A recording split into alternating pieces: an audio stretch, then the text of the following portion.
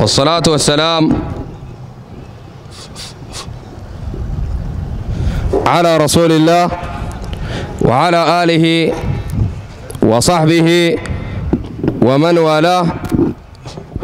أما بعد السلام عليكم ورحمة الله وبركاته. يقول الله تبارك وتعالى في محكم تنزيله إن الذين يحبون أن تشيع الفاحشة في الذين آمنوا لهم عذاب أليم في الدنيا والآخرة. والله يعلم وأنتم لا تعلمون. هذه الآية من سورة النور. أوردها الله تبارك وتعالى بعد قصة حادثة الإفك. لما اتهم المنافقون السيدة عائشة رضي الله تعالى عنها بالزنا عياذا بالله ربنا تبارك وتعالى أنزل في شأنها عشر آيات في براءة السيدة عائشة رضي الله تعالى عنها. آيات تتلى إلى قيام الساعة. برأ الله تبارك وتعالى فيها أم المؤمنين عائشة رضي الله تعالى عنها.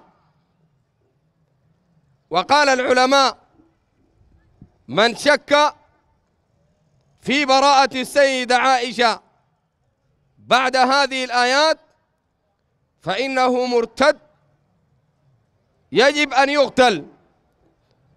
ونقل غير واحد من أهل العلم الإجماع على ذلك كما ذكر العلامة ابن كثير عليه رحمة الله.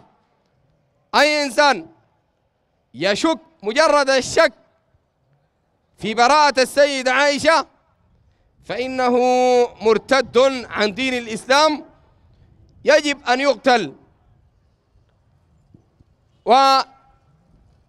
واليوم تجد من يسب ويطعن في السيدة عائشة رضي الله تعالى عنها. كما فعلت الرافضة قبحهم الله يطعنوا في براءة السيدة عائشة. ويقولوا إنه السيدة عائشة زنت بل قالوا إن جزءا من جسد النبي صلى الله عليه وسلم يدخل النار لأنه مس فرج السيدة عائشة الزانية. عياذا بالله. قاتل الله الرافضة. أنا يؤفكون دي الناس مجارمة ناس مجارمة يسبوا أم المؤمنين رضي الله تعالى عنها. ويطعنوا في كلام الله تبارك وتعالى. ويطعنوا في عرض النبي صلى الله عليه وسلم. وكان لهم نصيب من قول الله عز وجل والذي تولى كبره منهم له عذاب عظيم. ربنا قال لولا جاءوا عليه بأربعة شهداء يقدروا يجيبوا شهداء.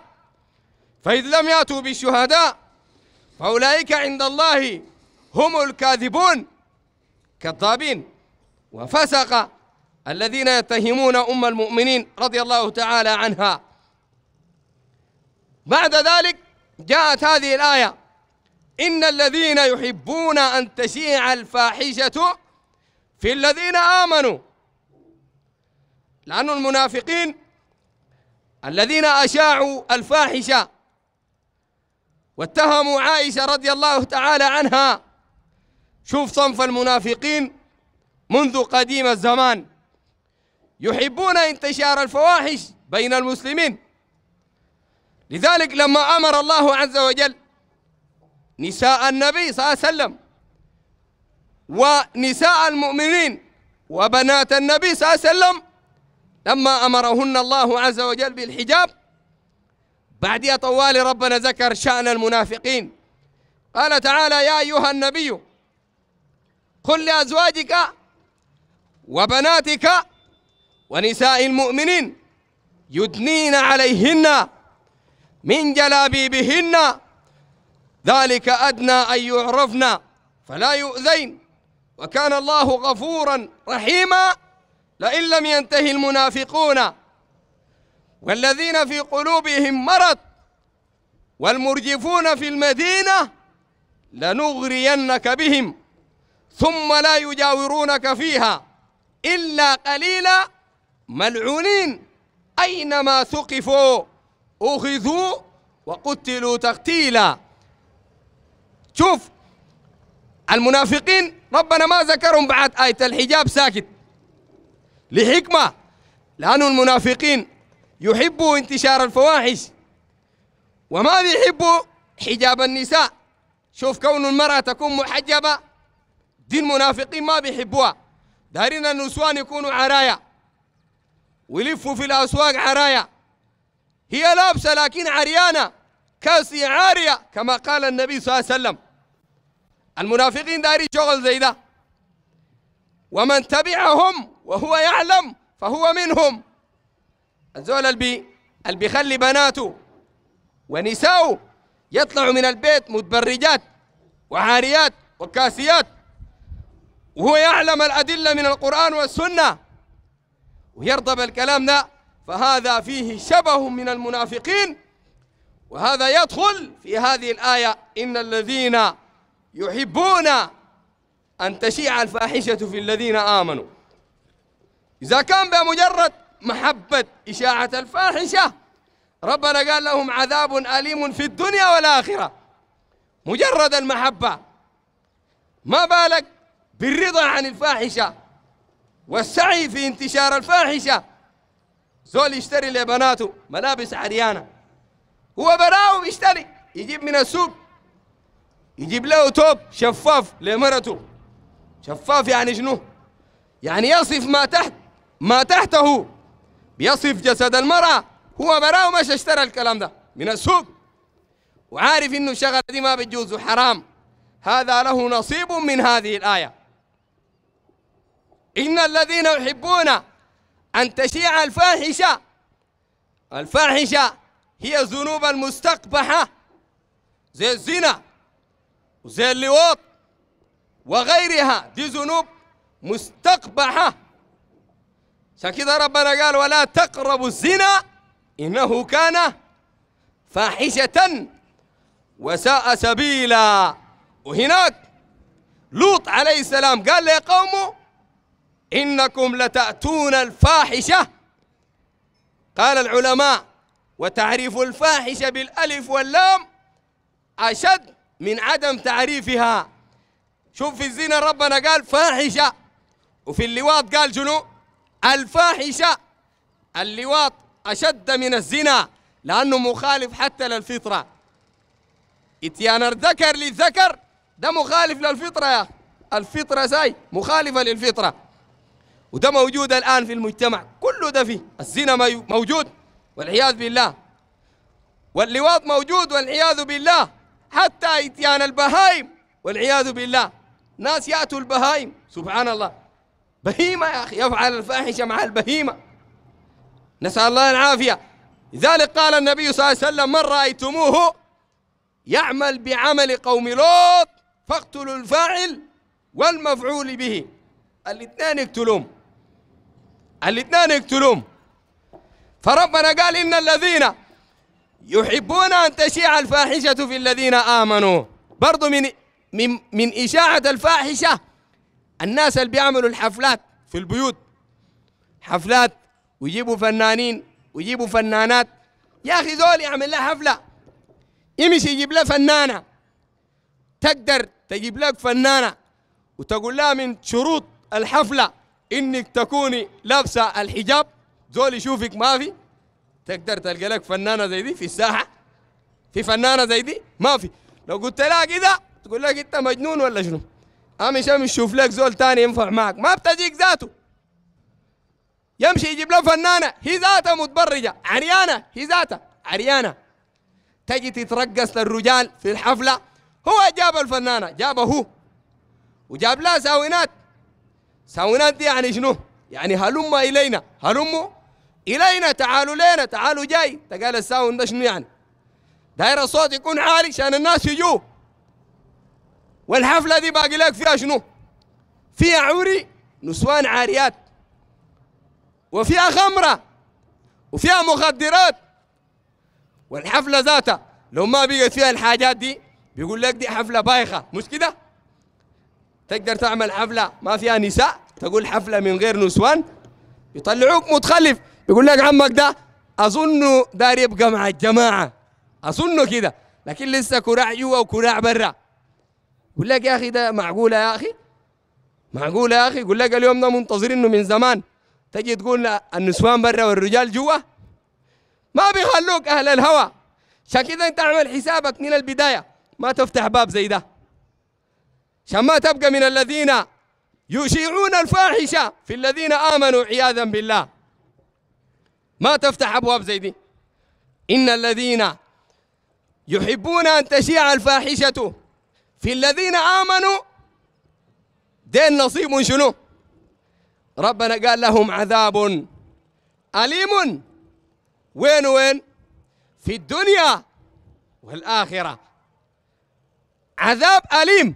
في الدنيا قال بعض العلماء أي بإقامة الحدود. وقال بعضهم الآية عامة وده الصحيح. لأنه ربنا قال عذاب أليم. لم يذكر نوع معين من أنواع العذاب. يصيبهم جميع أنواع العذاب. العذاب البدني. ممكن ربنا يبتليك والله. تعمل لك حفلة تنشر الفاحشة بين المسلمين. ربنا يبتليك في مالك في بدنك يبتليك في ولدك. شفت يجيب عليك مصايب. انت براك انت السبب فيها. ده كله من أنواع العذاب في الدنيا. والآخرة ولا عذاب الآخرة أكبر لو كانوا يعلمون. بعدين هناك جهنم عياذ عياذا بالله. لأنه في الدنيا هنا كان بيحبوا إشاعة الفاحشة في المؤمنين. طيب يا اخوانا إذا كان ربنا ذكر الكلام ده وذكر هذه العقوبة في الذين يحبون انتبه يحبون مجرد المحبة أن تشيع الفاحشة.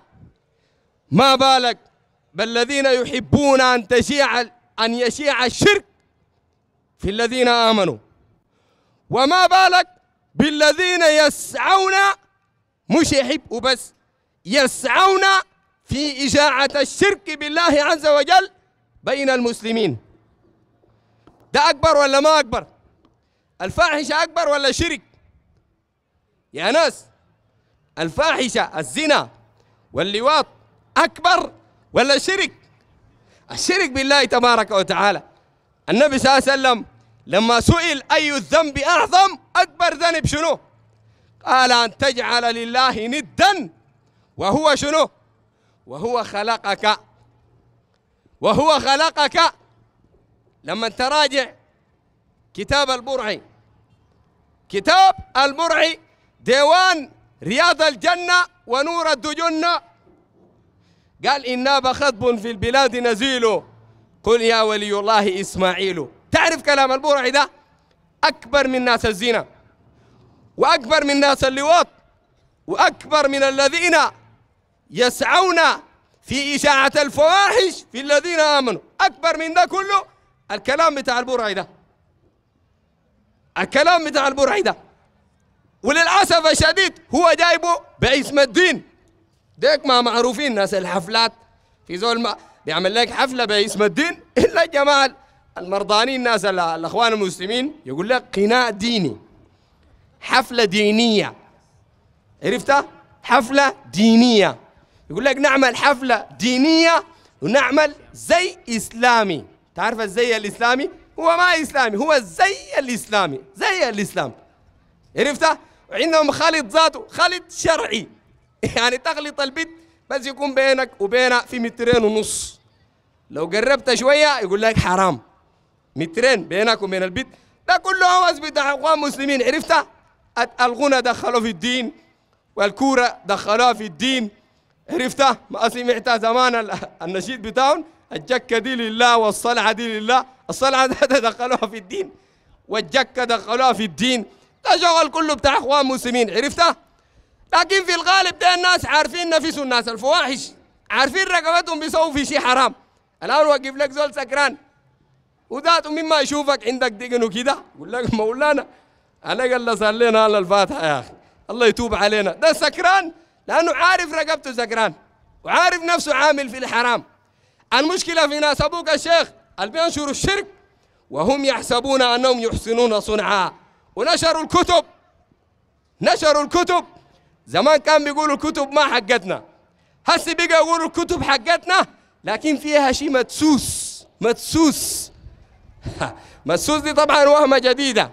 مرقوا بها ناس اللي زيرك وناس حامد بابكر. تعرف ده؟ زي زول بيبيع له في خمرة. أنا أضرب لك مثال. ولا بيبيع في مخدرات. زول معروف. 20 سنة شغال في الشغله ده في الشغلانة دي. لما نيجوا ناس المباحث ويلقطوا من جوا بيته يطلعوا القزاز ويطلعوا المخدرات يقول لا والله الحاجات دي مدسوسة ما حقتي. ولقوها جوا بيتك تيجي تقول مدسوسة؟ ما حقتي. قاعدة جوا بيتك.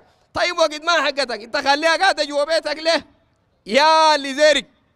ويا حامد بابكر يا صوفيا أنتوا بتقولوا الكلام ده مدسوس؟ طيب خلي انه قاعد في الكتب ليش نو؟ ليه ما بتمشي تفتحوا بلاغ؟ في المطبعة التي طبعت هذا الكتاب. ليه ما بيفتحوا بلاغ في الدار السودانية للكتب؟ ليه ما بيفتحوا بلاغ في دار الأسباط؟ ولا يلجأ الصوفية لتسمية المحرمات والشرك والخزعبلات الخزعبلات ليه يسموها شطحات طالما هي مدسوسة؟ اللي زيك تقال نحن ما بنفهم ما عندنا عقول. لما تمسكوا بيجاي يقول لك شطحات. لما تقول له شطحات ما في يقول لك مدسوس. وشنو انت قالوا إحنا لاعبين معك سكسك ها؟ لكن عشان تعرف إنه ده كله دين باطل. ملخص الكلام يا اخوانا ملخص الكلام. إنه إشاعة الشرك. وكذلك البدع والخرافات أشد من إشاعة الفاحشة. لذلك الذنب والعقوبة أشد وأغلظ. أكتفي بهذا القدر وأقدم. الشيخ شهاب. وصية القحطاني. بالله قولوا كل ما أنشدتم رحم الإله صداك يا قحطان